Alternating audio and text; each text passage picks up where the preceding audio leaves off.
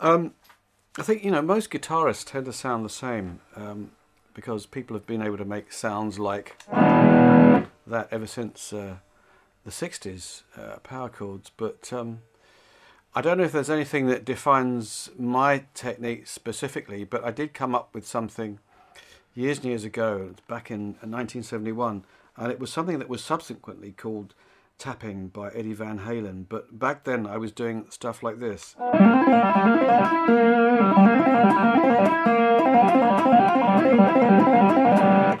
And so, you know, it, it enabled you to play very quickly, but it was actually very easy because you were, you were spreading it over um, uh, both hands. You were just, you know, hammering on and off with, with this, interjecting with this one. So it's very easy, especially if you're moving around the strings to go up and down and um, not all of it's terribly musical, but it's a way of, of, of having a lot of uh, rapid fire notes. So if it's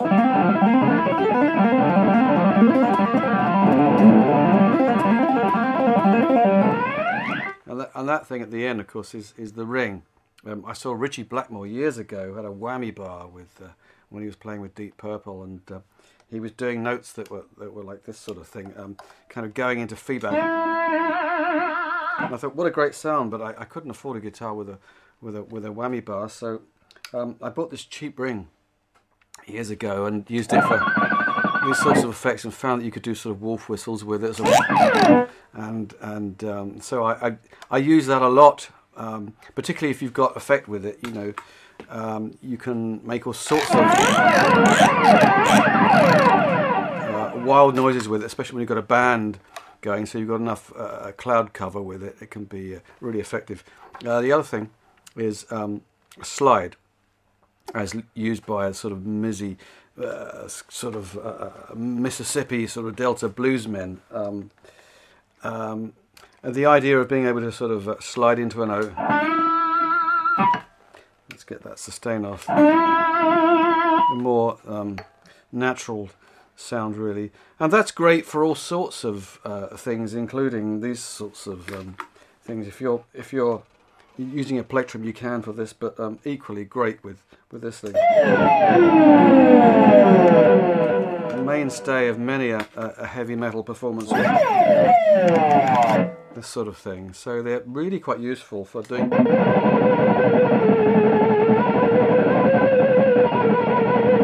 Sort of vocal um, effects, really, in a way. Um, so I guess you know they're all really sort of tricks, and and uh, you know the the whammy bar, the the tremolo arm, which has come on so much since the days of um, when Hank was using it uh, so well. Even you know the idea of being able to hit a note and then be able to, especially if you've got um, some feedback, which I can induce via this guitar. So you've got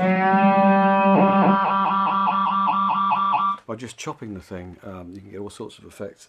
And the other thing you can do is um, by doing it this this way, you can get a kind of a burbling um, effect. So if you've got, then you switch to the burble. Let's.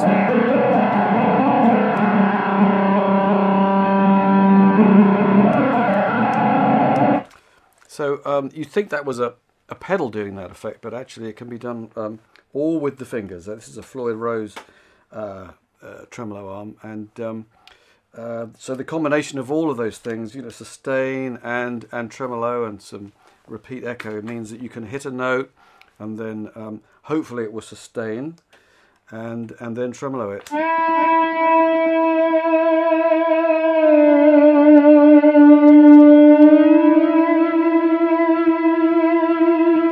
And a very eerie sound it is, but um, I love those sorts of things, and it makes it slightly violin in a way. So.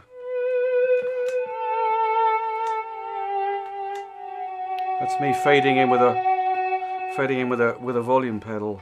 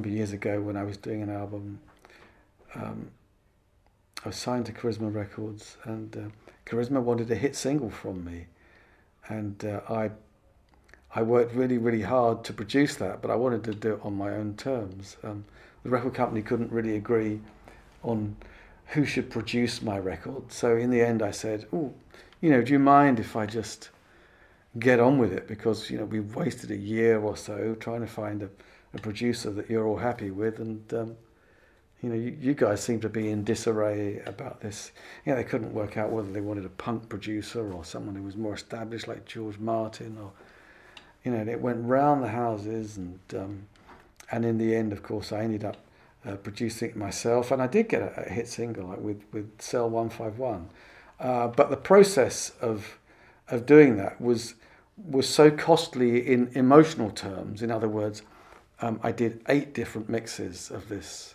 of this track. I was always going back in until they would eventually be happy with it. So we ended up with you know a drum sound that sounded like a um, a ton of cement being thrown at you as um, uh, you know the the iron girder sound of drums that was so prevalent in the 80s. Uh, so there was that. And um, it was also the era of, of having um, releasing two versions of a single. You did a single and you did a 12 inch version so that people bought it twice and um, uh, it was deemed to be more competitive like that. So I did that, but you know, I, I was hearing so many contrary um, opinions from the record company. Um, uh, eventually, I stuck something. I, I did the 12 inch version and it was exactly the same vocals. And then everyone in the record company in England swore that that, that was a more distinct vocal sound, uh, not uh, in, in, the, in, the, in the English office and in the American office. And I'd given them exactly the same mix as far as the, the vocals were concerned. So this was really the Emperor's New Clothes time. I just went along with that. But my manager at the time, which will remain nameless, said, Well, you must listen to the record company because they're the experts after all. And I thought, Well, are they?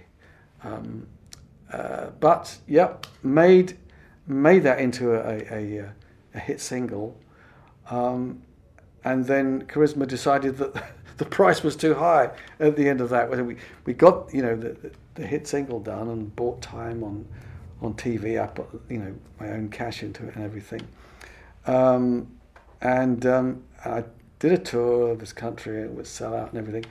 Um, but the record company had underestimated how many they were going to sell. So we sold out in all the record shops, and fans were clamoring for it, and it was just simply not available. So distribution, you know, founded on the rock of distribution.